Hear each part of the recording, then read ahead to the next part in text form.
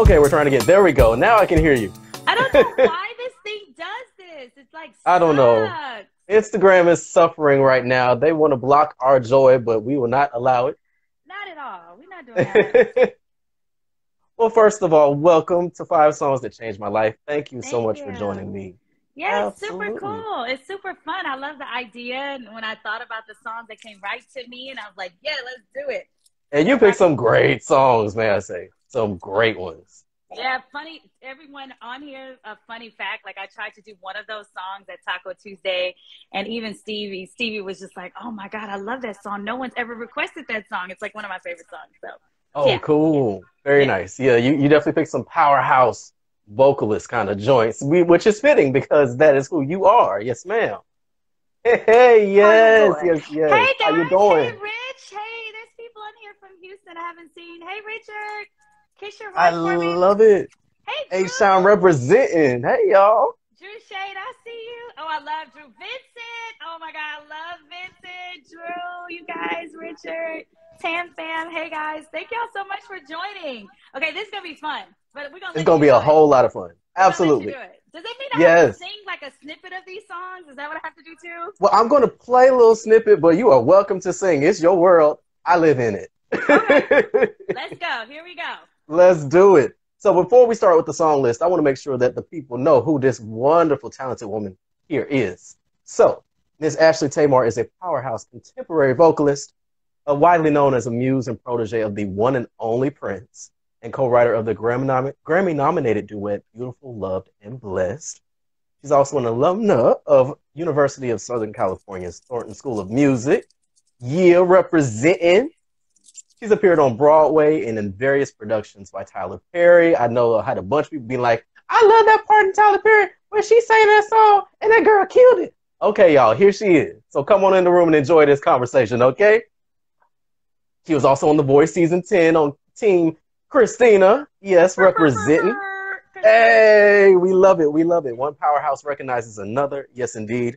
She recently released her fourth independent album, My Name is Ashley, via her Siren Music Group company. She's a CEO, a boss, and a singer. Yes, God. And she's also an author of the edutainment book and workbook for aspiring artists 100 Things to Know About, excuse me, Know as an Independent Music Artist. I want to make sure I got that right. so, uh, where do you have time? Do you have do, to do all these things? You do all the things, ma'am. How do you find the time? I mean, it's balanced. I haven't mastered it. I'm not about to say like I get up first thing in the morning and you know, I, I- I'm not one of those people that like, oh, I get up at four in the morning and then I do this and I do that, and I'm like, no, that is not me. But Right. um, yeah, I find I just I just master it. I, I write a whole bunch of post-it notes. I don't know if you guys can see scripts. Oh, I love me a post-it. I'm always yeah, it's always something. Um, but yeah, I mean, I find I, I figure it out and get it done. I love it. I love it. I love it. Real boss shit. Yes, indeed. So I love that we got these hearts coming up. Y'all keep the hearts going. Keep the comments coming. I love Latrice. I see Latrice. Hey, Latrice, welcome, She's welcome. Thank you for sweetheart joining. Person, Latrice Harper. Oh, Latrice. Oh, I love it. I love it. I love it. Well, listen, we're just going to jump into this song list and talk about these songs and what they mean to you. So the first one on your list is Adore by Prince. Classic, classic, classic, classic, classic. I think we kind of know what this means to you, but we're going to talk about it anyway. Let's listen to just a little bit because we don't want Instagram to cut us off tonight. and then we're going to talk about it, all right? Yes. So tell me, how did that song change your life? Okay, so you know, growing up, my house wasn't like religious or nothing. But I remember my first time hearing Prince was like, I don't know, it was like middle school.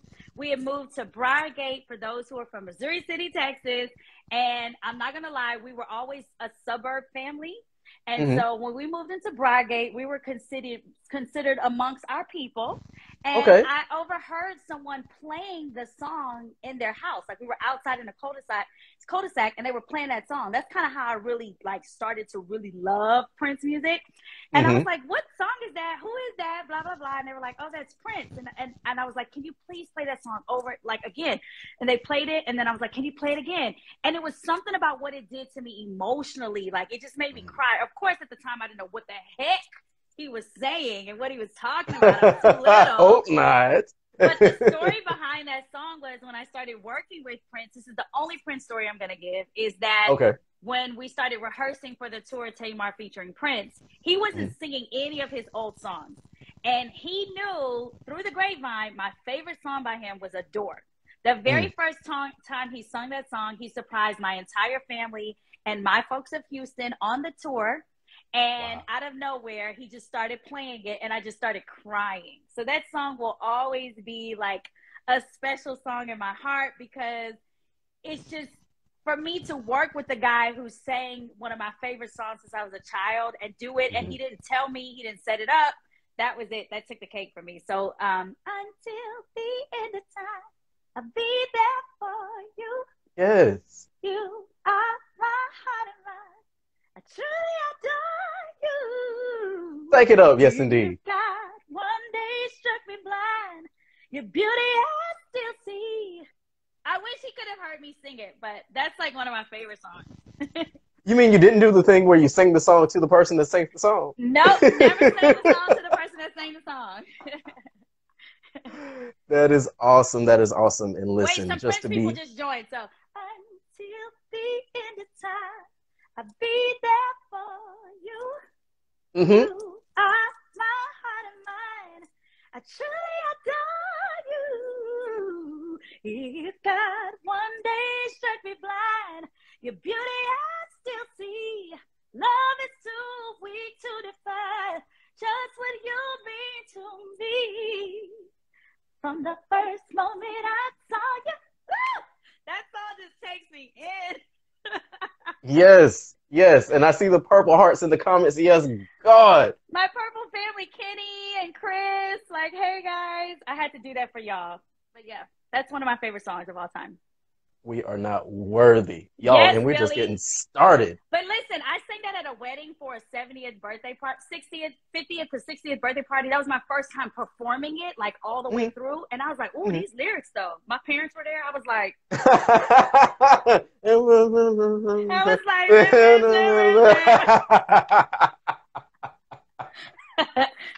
no lie. Those lyrics, boy, woo. You had to go to your prayer closet and talk to Prince about it. Like, sir, why did I you write did. these? I did. why why he- did you write these? why did you write these? And then when he found out I heard Cream, he was like, please don't listen to that song ever again. Like he just did not like me knowing and hearing his old side. So Oh, yes, yes, yes. Well, we all grow and we all, you know, can change, but the genius stayed the same. So, yes, always. yes, we appreciate that. Absolutely. Excuse me. So now from one genius to another, Barbra Streisand sings the next song on your list, My Man from Funny Girl. Come on, we're going to jump into this musical theater for a little bit, get into this Broadway bag. Come on, y'all. My Man is the next song. We're going to listen to a little bit and then we'll talk more, all right, y'all? Y'all, Babs. Babs, do y'all understand that Miss Streisand is a boss and a legend and uh She love, I love Barbra Streisand. I love Funny Girl. It's one of my favorite films. To this day, like if I just want to, if I can't go to sleep, sometimes I'll just play that film over and over again. I'll fall asleep to it. I found out it was on Delta Airlines once recently when I was flying. I was like, I don't care what other movie is out. I'm gonna watch Funny Girl. It's like my favorite film.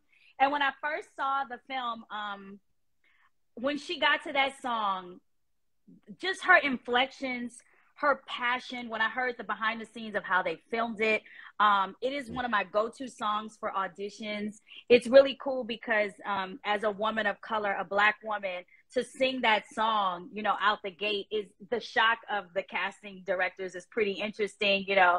Um, Mhm. But it's like, oh my man, I love him so.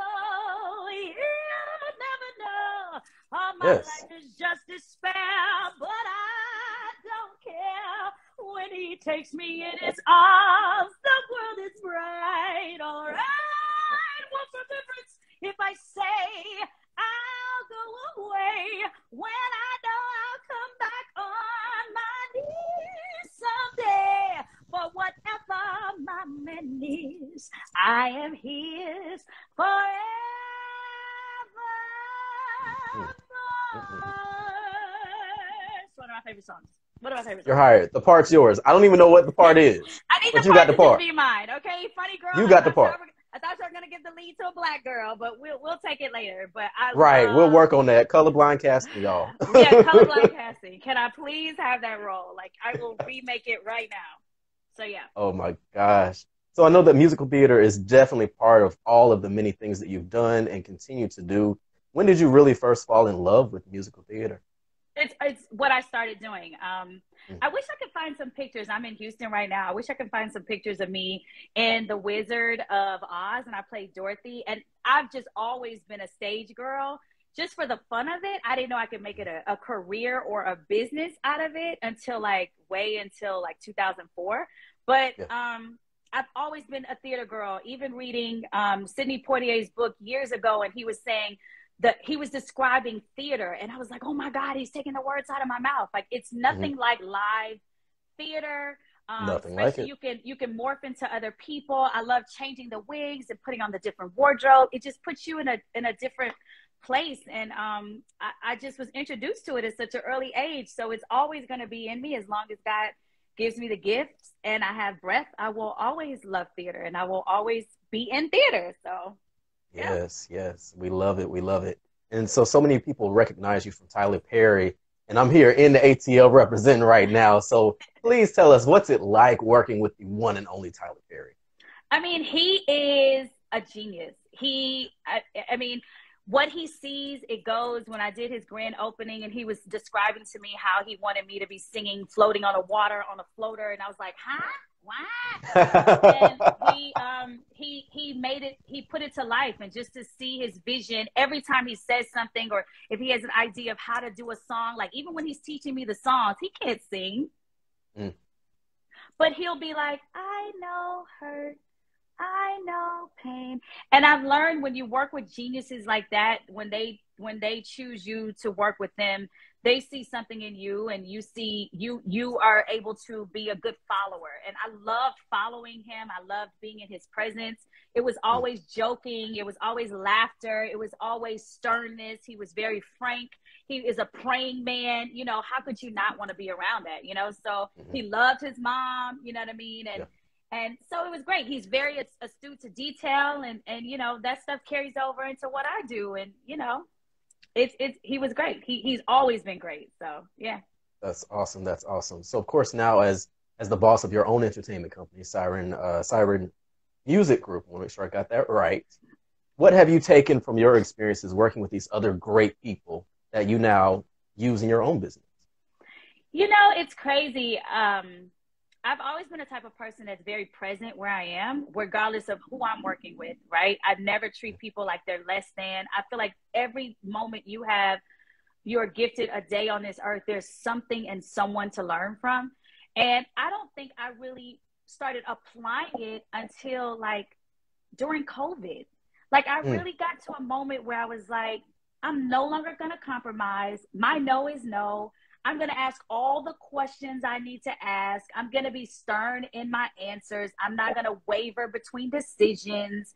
Um, I learned all of that, especially from Prince. You know, the negotiating tactics and and and thinking you you hear thinking outside the box or the sky is the limit and blah blah blah. But it's not until you work with people like him and tyler perry and i have to salute sharon hayward and the gail mitchells and the karen lees and because it once you get over that hump of where you're really having to be challenged by people that try you try me you mm. know don't try me try jesus kind of thing that part you just get to a moment where you're like, I don't make excuses for my nose. I don't make excuses when I say yes. I don't make excuses for let me get back to you. You know, and it's hard because I'm such a to me, I think I'm a loving person, but loving don't get you where you need to be. You know, it's the matter of factness, it's the you know, there's some points that I have to be, I have to pull from my mom's characteristics, my dad's characteristics. There's some days I have to be silent there's sometimes I can't respond to emails. I have to, I've learned from both of them, remove your emotions completely out of it. And I've learned negotiations are always possible. Everything is negotiable. And if it's not on your terms, especially when you're not asking for the sky and the airplane and the moon and the stars, you know, you have to be willing to walk away and it's okay. And so I, I learned a lot from them though. So come on, business and, and shout out to the wonderful women that you named as well, and your parents. You know, we, we know these big names, but your parents have obviously been a big influence upon you as well. Oh, big time. I mean, we to this day we we talk. We'll talk, talk, talk, talk, talk. We, I talk about relationships more with my dad now more than ever. You know about you know dating and and I talked to my mom about like, mom, do you know this happened today? And you know, and and she, me and her and some other women, we pray every Friday. You know, we we we have a strong unit, and it's not a perfect unit, but we do mm-hmm. have a strong unit, and um, I think it shows in my family. So yeah. That is so awesome. What a blessing. What a blessing. well, look, from one great woman, your mother, to another, Whitney Houston is next on your list. I love the Lord. We're going to take it to church for just a little bit, y'all. And then we're going to talk about it, all right? That timing, Again, huh? yes, you know, make a little segue. Give y'all too much of that. You might get taken Ooh, away. Wait a minute. Love Wait a minute. Jeez. Nippy, come on, y'all. what else is there to say? What else is there to say? When this woman came out with that film and that soundtrack, I I probably played that thing till it couldn't play anymore. I mm. just what that said to me in that moment was I could be a black woman who sings, can be used by God. I can go into spaces that you know I, I could never imagine and pro- proclaim His power and when I heard that girl sing, I love God, the Lord, He heard my cry. Mm-hmm. Ah! Mm-hmm.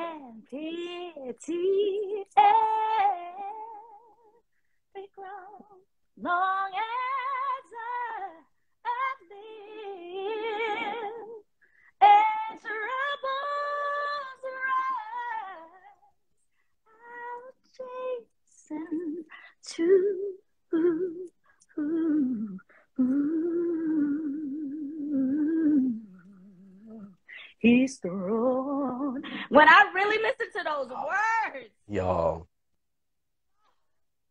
y'all. And all she said was, "I love the Lord. He heard my cry, and He heard it just, it just, it just, it's just, ah, uh, yeah." But she took her time with it. She took her. She took her time. She's like, ah. Mm-hmm. The Lord. How she touch it? She, she, she, she touch it. She touch it. yes, Whitney Houston. Yes, sir. Oh my gosh! Oh my gosh! So a couple of female artists, Barbra Streisand, Whitney Houston. Who are some of your other favorites? We've got one more coming up, so we won't talk hey, about Billy. her just yet. Thank you, Billy. Um, hey, Ayana. Hey, guys. Hey, hey Tim Fam. Um, Another singer that I'm really into today, well, first of all, hands down, Brandy Norwood. Okay, come on. You can give me Brandy anytime. Come on, B. Rocka. It's the anointed vocals for me. Listen, it's the it's the arrangements for it's me. The arrangements for me.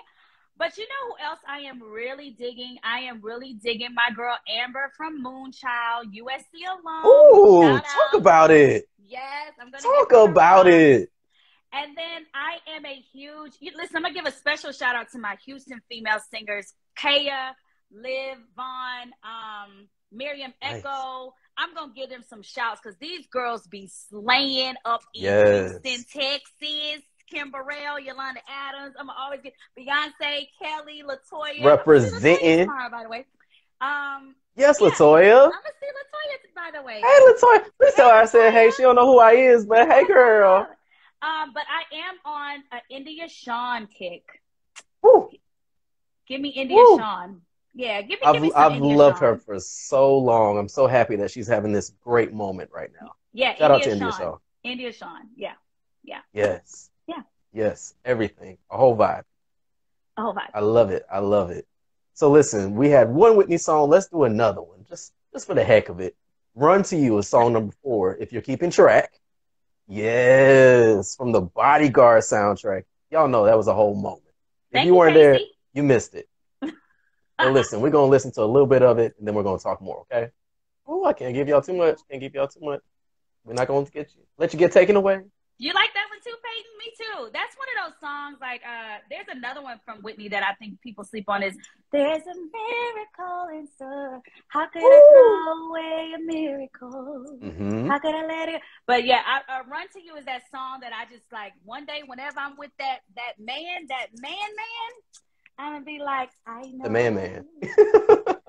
I know that when you look at me There's so much that you just don't see, but if you would only take the time, I know in my heart you'll find. Oh, a girl is scared sometimes, who isn't always strong. Can't you see the hurt in me? I feel so all alone. I wanna run to you. Ooh. Wanna run to you. Ooh, tell me, will you stay or will you Mm-hmm, run mm-hmm. away? It's one of my favorite songs. Sing it. Sing it. Come on, inflections. You better not miss a note. Yes, ma'am. It's my Oh my- yeah. I love it. I love it. So it, it's it's the vocals, it's the lyricism. I know you're a writer as well. How important are, are lyrics and, and melody in the songwriting process to you? if it doesn't speak to me, I'm not doing it. You know, there's some Mhm. songs to this day, like I just won't sing them. Some songs, you know, I just, and I'm gonna give y'all a fun fact. Are you saving this live stream? Yes. You, okay. So there's a fun fact that I, I, I want you to know. I've been waiting to say this for a long time. So on The Voice, before I got knocked off, I had a choice to do um, One Plus One by Beyonce or Rise Up. And Mhm. I just felt like where I was at that time, the song that I really wanted to sing was Rise Up. And I didn't do um, If I Had a Dime, da, da, da, da, da, yeah. One plus one. One plus Okay. one, yeah. So yeah, I, I just um I just have to have songs that just like, you know, that that speak to me first and then I feel like they'll exude what God wants in that moment and I'm just that serious about things that I sing. I'm not gonna sing about songs that I don't feel, you know, if I'm in love, I'm probably gonna sing more love songs. If I'm, you know, heartbroken or if I'm you know, jazz was that way at the time. You know, one of my favorite jazz songs is "In My Solitude, You Haunt Mhm. Me." But you know, I don't have those moments, so I'm not going to sing that all the time, right? So it just depends on where I am. So lyrics to me are very important. Um, even now, like my phone has tons of ideas, and I'll just be riding in the car, and I'll just be thinking of something subconsciously, and I'll be listening back, like, when the heck did I write that? You know. Um, yeah. Yeah. But I, the words come to me like like very easy and yeah. But I, I don't I don't profess myself to be one of the best lyricists though. Um, I think some of you guys' favorite songs happen to be like a moment in time, and that's Mhm. why they came out that way. Okay. But I, okay. I don't profess to be a lyricist at all. Yeah. But but you do it. But you do it anyway. So Eh. look at that. we love it. We love it. So it, it sounds like a- theme on this show with all of my guests has been authenticity. So it sounds like that's important to you too, to really connect with whatever you're singing and make sure that it's authentic to you at that time. Is that correct? Yeah, it definitely has to be at that time because there are some songs like um, I just I won't sing right now, but uh, one song songs that never stop in my heart are are gospel hymns. You know, like um, it is so sweet to trust in Jesus, just to take him, or you know, um, to God be the glory. Like those songs, just kind of I love. You know, um, yeah, I, but songs are to me sometimes seasonal. They really are. But these five songs, they're my go-tos. Like if I had to do audition, evergreen.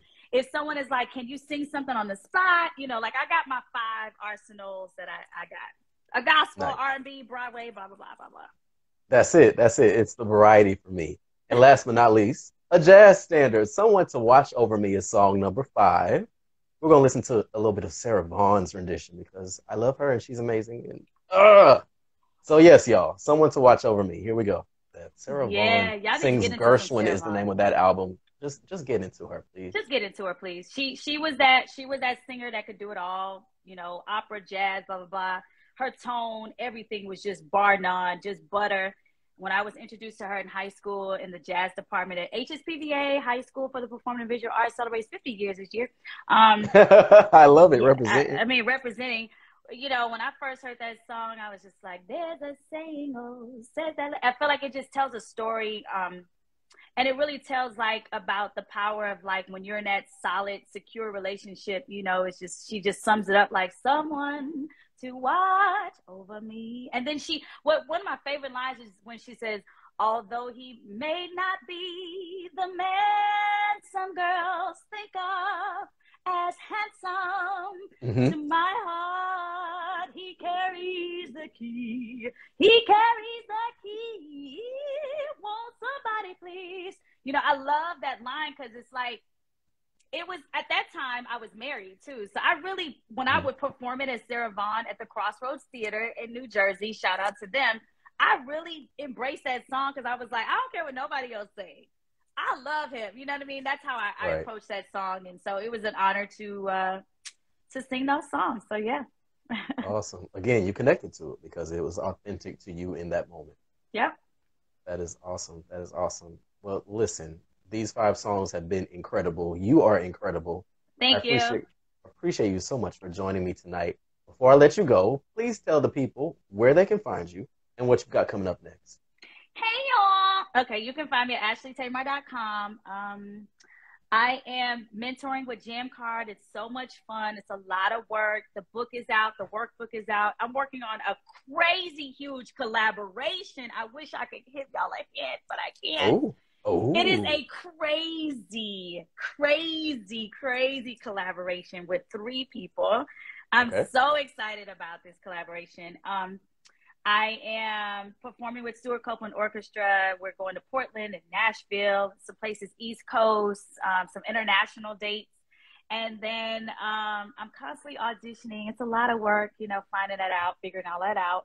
Um, I have a huge project. I wish I could just divulge what it is, but I can't. Secrets. Secrets. So many secrets. But yeah, you know, I'm just Ashley. You know, they say Jenny from the block. You know, I'm Ashley from the H. Just you know, hey, praying to encourage and inspire others. So I hope everyone keeps going, and you know, don't give up. Like whatever you do, don't give up. Don't stop calling people. Don't stop praying. Don't stop believing. Don't stop asking. Don't stop seeking. Don't stop researching. Don't stop reading because it really, really, really does pay off. And try to find that time to balance your life and take time out for yourself, you know, and and it's okay to rest. That's something else I'm Ooh. learning. So take a nap, y'all. Take a nap. Oh, lay down. Yes.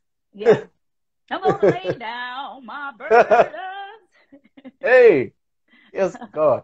Okay, so that actually is a segue to my last question. Mm-hmm. I saw somebody say, "When are you going to do a gospel album?" Would you do a gospel album?